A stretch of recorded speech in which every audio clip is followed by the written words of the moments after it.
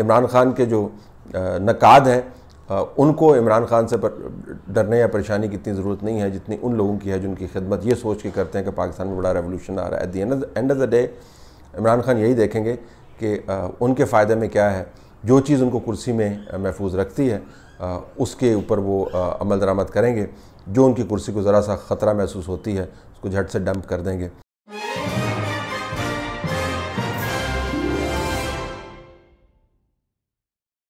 आज वजी अजम पाकिस्तान के दो स्पेशल असिस्टेंट्स तो फारग हुए। तानिया साहिबा भी गई और डॉक्टर ज़फ़र मिर्ज़ा भी गए।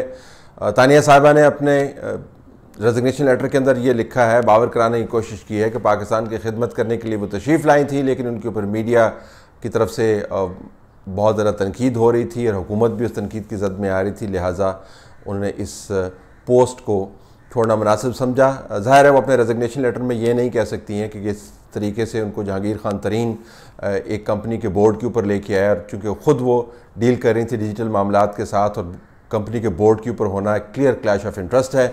जहांगीर खान तरीन उनको अपॉइंट करवाने के बाद ख़ुद शुगर स्कैम के असरात से बचते हुए आराम से मुल्क से बाहर चले गए और ज़ाहिर है कि अब जब उनका मामला टेकअप हो रहा है मीडिया के अंदर तो उनको कोई डिफेंड करने वाला नहीं है तो उनका पॉलिटिकल क्लाउड जो है वो ख़त्म हो गया है। और वैसे भी, जब आपके पास कैनेडियन नेशनैलिटी हो तो आपको क्या पड़ी है खाम खा पाकिस्तान के अंदर? आप मीडिया के सवालों का जवाब दें, अगर वो सवाल बहुत अहम है तो उन्होंने एक अपने लिए दरवाज़ा खोला और अब आपको वो ना ख़बरों में नज़र आएँगी और कहा तो उन्होंने यही है कि पाकिस्तान की वो खिदमत करती रहेंगी, लेकिन जिस तरह लोग इस तरह के जाते हैं मुड़ के, फिर वो खिदमत करने के लिए आते नहीं हैं। इसका एक बहुत बड़ी जो इसकी एग्ज़ाम्पल है, वो आपको साकिब निसार साहब जो एक्स चीफ जस्टिस हैं, वो नज़र आते हैं। आजकल आपको कहीं पर नज़र नहीं आएँगे, बिल्कुल गायब हो गए उन्होंने आपको फ्री लीगल सर्विस भी प्रोवाइड करनी थी, उन्होंने डैम को बनवाना था, वहाँ पर चौकीदारी करनी थी, बाबर रहमते उन्होंने बनना था। वो तमाम बातें करते करते वो गायब हो गए। अगर जो वो पेंशन ले रहे हैं पाकिस्तान के अवाम के जो टैक्स हैं, उनसे वो जेब भर भर के पेंशन ले रहे हैं, लेकिन जो वादे वही उन्होंने किए थे वो पूरे नहीं किए। तो तानिया साहबा का तो ऐसा मामला भी नहीं है, उनके पास कैनेडियन नेशनैलिटी है वो ठंड प्रोग्राम के साथ अपनी पुरानी ज़िंदगी में वापस चली जाएँगी। डॉक्टर ज़फ़र मिर्ज़ा का मामला थोड़ा सा मुख्तलिफ़ है। फेस हैं या रहे थे बहुत तवील अरसे तक मौजूदा हुकूमत की हेल्थ पॉलिसीज़ का और ट्विटर के ऊपर एक्टिव और पॉलिसी एक्सपर्ट के तौर पर आपको एक्टिव नज़र आए। कोविड 19 के अंदर जाते जाते हमें बता गए हैं कि किस तरह उनकी काविशों से और कौम की मदद से कोविड 19 जो है अब कंट्रोल में आ गया है और उनकी खदमात जो हैं उनकी अपनी नज़र में बड़ी अहम और कलीदी हैं। उनके बारे में शुरू दिन से बहुत से स्कैंडल सामने आए मास्क का स्कैंडल सामने आया इसके अलावा जो इक्विपमेंट हम एक्सपोर्ट करते रहे, उसका स्कैंडल सामने आया। बरह रास्त वो इसमें मुलवस नहीं थे, लेकिन उनके हवाले से फिंगर पॉइंटिंग ज़रूर होती रही। लेकिन उन स्कैंडल्स के बाद, चूँकि कोविड नाइन्टीन में बहुत कोशिश की जा रही थी कि हुकूमत अपना सिविलियन फेस जो है वो सामने रखे तो डॉक्टर ज़फ़र मिर्ज़ा, जिनको बिलखसूस अपॉइंट किया गया था, अपनी सीट को बरकरार रख पाए। लेकिन ज़ाहिर है, जब से एन सी बना है, तब से डॉक्टर ज़फ़र मिर्ज़ा जो है कम्प्लीटली साइड हो गए हैं। अब कोविड नाइन्टीन का तमाम तर क्रेडिट और उसको मैनेज करने के तमाम तर जो कॉम्प्लीमेंट्स हैं, वो सारे के सारे उनकी तरफ़ नहीं जाएँगे, वो एनसीओसी की तरफ़ ही जाएँगे। तो अब वैसे भी एक रिडेंडेंट फिगर के तौर पर वो नज़र आ रहे थे।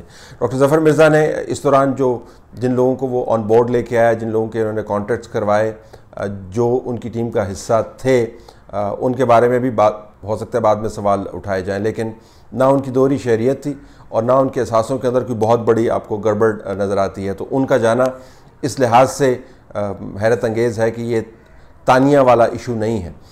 मोहतरमा की दोहरी नेशनैलिटी और उनका जहांगीर खान से ताल्लुक़, डॉक्टर ज़फ़र मिर्ज़ा, इन दोनों चार्जेस से आपको परे नज़र आते हैं। लेकिन उनका जाना इस बात की गमाजी करता है कि बुनियादी तौर पर इमरान खान को बताया गया है कि अपनी चारपाई के नीचे झाड़ू फेरना वो शुरू कर दें और बहुत सारे ऐसे लोग जो तनाज़े का बायस बन रहे हैं उनको गायब कर दिया जाए। इससे पहले जो लोग यहाँ से गए हैं उनसे सिर्फ़ जॉब्स छुड़वा दी जाती हैं उनके ऊपर कोई बाकायदा आपको इन्वेस्टिगेशन होती नज़र नहीं आती। जो एक्स इंफॉर्मेशन के ऊपर एडवाइज़र रहीं और बहुत अरसे तक टीवी के ऊपर उन्होंने डोमिनेट किया। डॉक्टर साहबा अब आपको नज़र नहीं आती हैं किसी जगह पर ना ही उन, उनके हवाले से कोई बहस होती है। अगरचे जब वो जा रही थी तो उनके बारे में जो स्कैंडल निकला था, लगता था कि अब नैब उनके ऊपर छापा मारे ही मारे, लेकिन कुर्सी छोड़ने के बाद वो भी इन तमाम इल्ज़ाम से परे हो गई और अब आराम से अपनी कंस्टिट्यूंसी के अंदर जो है वो फिरदौसियत भी फैला रही हैं और अपने हल्के के मामला को भी देख देख रही हैं। इन रेजिग्नेशन के बाद तो की जा रही है कि मज़ीद रेजिग्नेशन होंगे, लेकिन ये याद रहे कि इसका पाकिस्तान के गवर्नेंस के बहरान से कोई ताल्लुक नहीं है।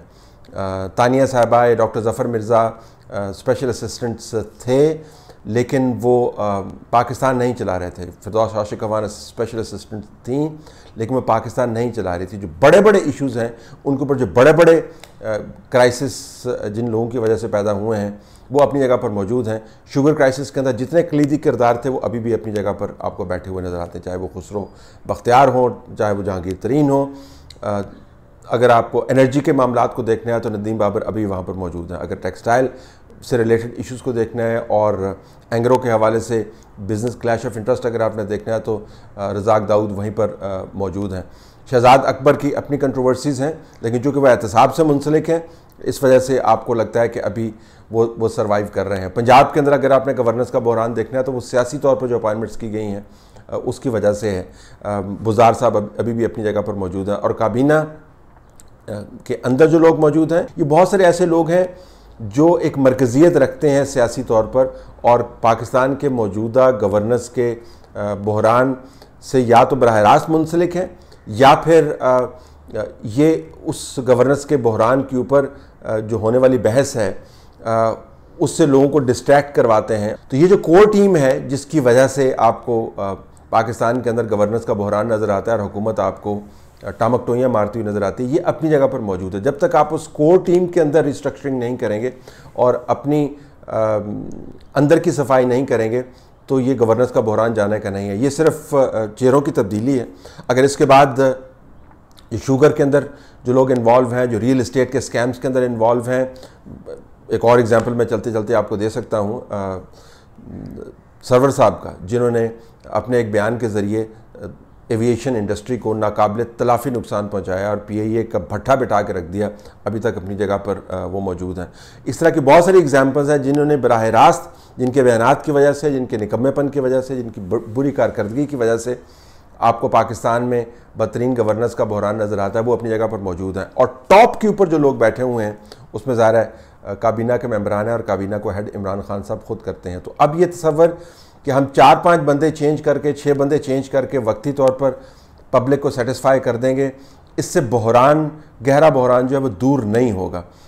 इस मुल्क के अंदर गवर्नेंस का बहरान है, इस मुल्क के अंदर मीशत का बहरान है, इस मुल्क के अंदर कंसेंसस बिल्ड करने का बहरान है, इस मुल्क के अंदर आप एक लेजिस्लेशन जो है वो पास नहीं करवा सकते, इस मुल्क के अंदर इंसाफ का बहरान है। तो ये बड़े बड़े चीदा चीदा बहरान है।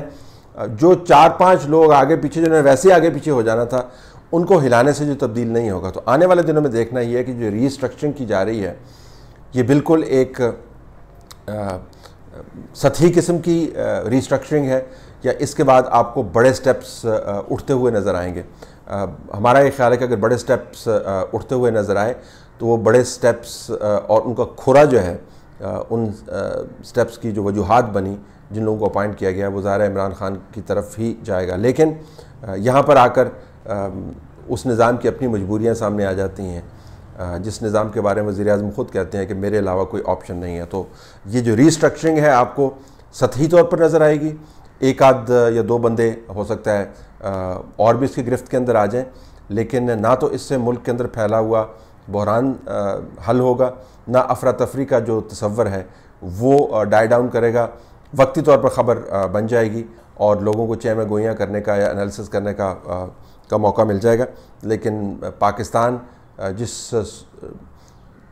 ग्रेव सूरत हाल के साथ इस वक्त दो चार है उसको आप ना डिफ्यूज़ कर पाएँगे और ना ही उसको एड्रेस कर पाएँगे। बहरहाल आज की बड़ी ये ख़बर है जिन लोगों को बड़े अतमाद के साथ लाया गया था कि पाकिस्तान में आके न जाने क्या रेवोल्यूशन बर्पा कर देंगे और जिनने पर्क्स एंड प्रिविलेजेस लिए, वो अपने ही निज़ाम के हाथों ह्यूमिलिएट होके या डिसअपॉइंट होकर निकले हैं। और ये भी एक कमाल खासा इमरान खान साहब का, जो उनके नकाद हैं उनको कोई वजह तलाश करने की ज़रूरत नहीं है इमरान खान साहब के निज़ाम को हदफ तनकीद बनाने के लिए। इमरान खान ने जो ख़ुद बातें की हैं वही काफ़ी हैं।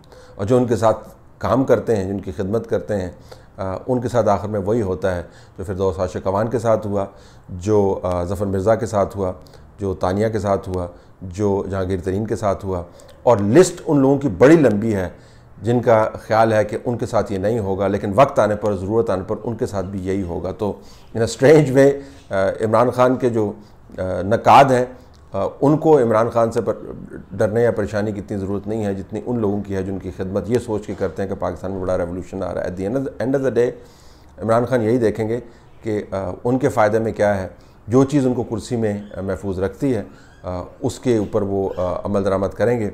जो उनकी कुर्सी को ज़रा सा ख़तरा महसूस होती है उसको झट से डंप कर देंगे। अगरचे बिल्कुल आखिर में दोबारा से दोहराता चलूँ।